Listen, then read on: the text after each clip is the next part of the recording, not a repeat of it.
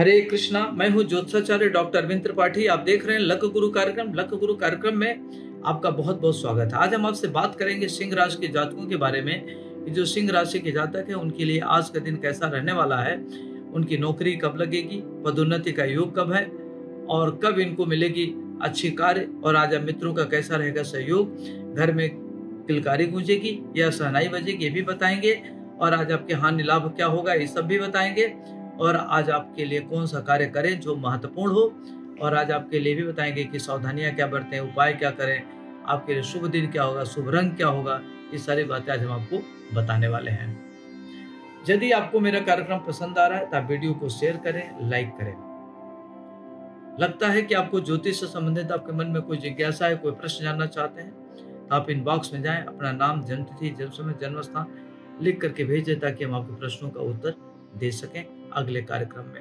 अब आइए हम बात करते हैं सिंह राशि के जातकों के बारे में कि जो सिंह राशि के जातक हैं, उनके लिए आज का दिन कैसा रहने वाला है। तो जो सिंह राशि के जातक हैं, उनके लिए आज का दिन बहुत महत्वपूर्ण है। आज आपकी माली हालत अच्छी होगी, रोग और शत्रु परास्त होंगे, दूर देश की यात्रा का योग बन रहा है और आज आपको चतुर्दिक रूप से लाभ मिलेगा। जो भी अगर व्यवसाय या प्लान कर रहे हो तो उसमें आज आपको सफलता मिलते हुए दिख रही है। कल पर कोई चीज़ न टाले, उसको तत्काल प्रभाव से कार्य को करने की आवश्यकता है।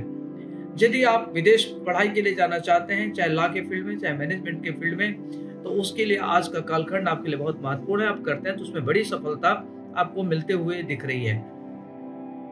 सरकार से लाभ मिलेगा, सरकारी कार्यों से लाभ मिलेगा, सरकार में नौकरी की भी योग बन रहा है। यदि आप कहीं प्राइवेट सेक्टर में कुछ बड़ा कार्य करना चाहते हैं तो उसके लिए भी आज का दिन काफ़ी महत्वपूर्ण है। यदि आप लॉ के फ़ील्ड में मैनेजमेंट के फ़ील्ड में, या वकालत के फ़ील्ड में कुछ करना चाहते हैं तो आज के दिन आपके लिए बहुत अच्छा है। और कीमती सलाह से धन अर्जित करेंगे और अपने वाणी पर नियंत्रण रखें। यदि आप किताब लिखना चाहते हैं, कहानी लिखना चाहते हैं तो उसके लिए आज का दिन सर्वोत्तम है। दाम्पत्य जीवन आपका बहुत ही अच्छा होगा और संततियों की प्रगति से मन आपका प्रसन्न रहेगा। यदि न्यायालय में कोई विवाद चलो तो उसमें आपको सफलता मिलेगी, मान सम्मान मिलेगा और आज आपका रुका हुआ धन मिलेगा, जिससे माली हालत आपकी सशक्त होगी। बच्चों की प्रगति से मन प्रसन्न रहेगा। यदि आपका कोई भाई या बहन अविवाहित है तो उसके विवाह होने में थोड़ी विलंब हो सकती है।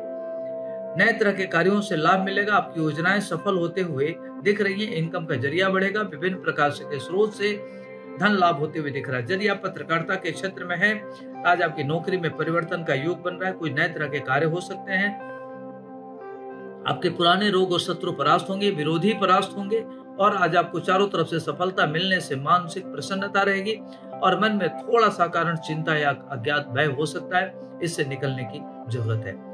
आज आपको सावधानी क्या बरतनी है? आलस्य का परित्याग करना है और लग करके कार्य को करें, आपके लिए बेहतर होगा। उपाय क्या करना है? आज आप क्या करें कि चना मंदिर में दान करें और चिड़ियों को दाना खिलाना आपके लिए बेहतर होगा। ओम गृहणी सूर्यानव इस मंत्र का जप करना भी आपके लिए अच्छा रहेगा। और आज आपके लिए शुभ अंक है पाँच और शुभ रंग है लाल। हरे कृष्ण।